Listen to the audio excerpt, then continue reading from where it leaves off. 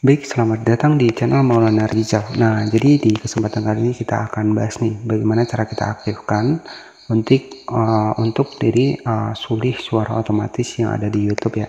Jadi YouTube itu saat ini memberikan sebuah fitur terbaru di mana sulih suara ya, di mana video kita itu ketika ditonton di beberapa negara itu uh, video kita itu bisa menyesuaikan untuk bahasanya. Nah, ini penting banget ya. Dan tentunya tujuan dari sulih suara otomatis ini ya bisa lebih menjangkau video kita walaupun ditonton di negara lain. Nah, jadi seperti itu. Baik, jadi uh, di sini buat cara kita aktifkan suara sulih otomatis terbaru di tahun 2025 dan tetapi ini khusus buat channel yang sudah lolos monetisasi. Dan ya semoga saja untuk ke depannya buat channel-channel yang belum lolos monetisasi semoga untuk ke depannya juga bisa.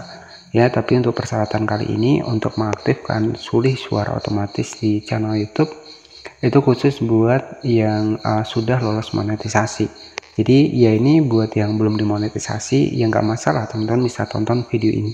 Agar nanti ketika teman-teman sudah lolos monetisasi bisa tahu bagaimana strategi kita buat mengaktifkan uh, sulih suara otomatis di YouTube ya.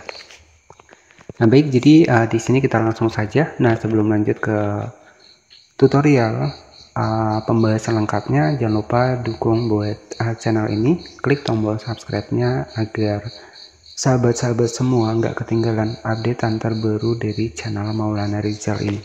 Jadi di sini untuk mengaktifkan uh, sulit otomatis di YouTube caranya tinggal kita masuk ke bagian dari Google Chrome seperti ini Oke, kita langsung masuk di aplikasi YouTube Studio. Kemudian kita scroll ke bawah di sini. Ya, kita klik di bagian gerigi di bagian sebelah kiri di sini. Kemudian setelah seperti ini, bisa kita cek di sini. Kemudian di sini ada ada beberapa menu. Silahkan klik saja di bagian uh, download upload di sini. Kita klik di sini. Nah, selanjutnya setelah seperti ini nanti bisa diperhatikan di sini bisa kita cek uh, klik di bagian setelan lanjutan di sini. Nah, selanjutnya di sini bisa diperhatikan di bagian bawah ini ada fitur yang namanya adalah sulih suara otomatis. Nah, ini merupakan fitur terbaru ya, sulih suara otomatis.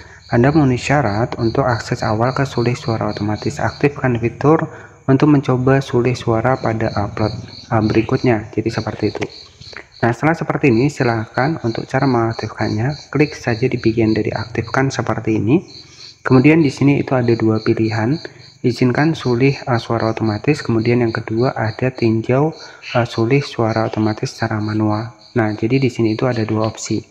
Tapi kalau saran saya agar sahabat-sahabat nggak bingung, uh, kita centang satu saja nih di bagian atas yang izinkan sulih suara otomatis. Nah, selanjutnya uh, di sini tinggal kita klik saja di bagian dari simpan seperti ini. Oke, kita simpan dan secara otomatis untuk di bagian dari uh, video kita itu sudah bisa disulih otomatis. Kita klik di bagian pengaturan. Kemudian di sini diperhatikan di default upload.